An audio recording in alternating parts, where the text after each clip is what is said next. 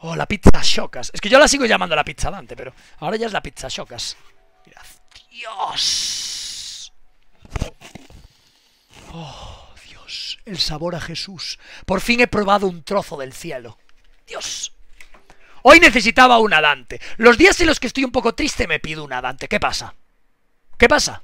Cuando estoy triste me pido una Dante. O sea, todos los días me la pediría. Dios. Qué rica, papi.